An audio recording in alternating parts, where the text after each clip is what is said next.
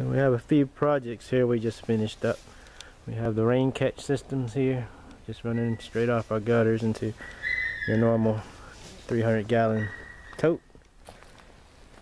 Sitting up on cinder blocks so that we can access the water into a bucket here. You can see.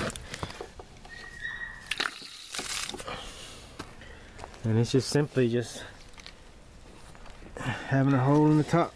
The water drains straight down. We have a, just a cheap little strainer here that will catch a lot of the debris and material just to clean. You have to clean it out every now and then, but and then it just when it overflows, it just runs off the side. And it doesn't affect the, uh, the drainage down this way, so just keep it open top just like this.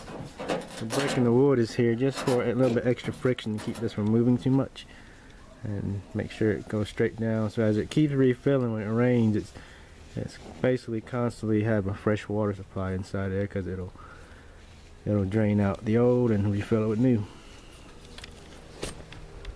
And then we have our four 55 gallons here just running off the same type of way.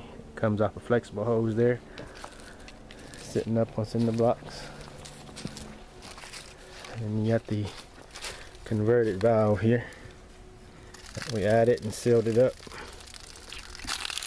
Access water from each one independently. And this is the over drain hole here. Put a little screen on it to keep bugs and stuff out of it. And the idea of this one is basically it fills in from here through this funnel. And obviously, like I said, we clean it out every now and then and then as this one fills up here it'll drain through that hose into the next one.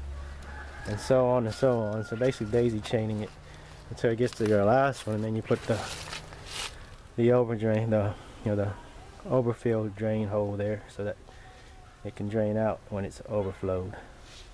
Just a very simple system using recycled materials and a few little extra faucets and just basically garden hose and a normal 5 8 inch uh, nipples that you can get from uh, any hardware store.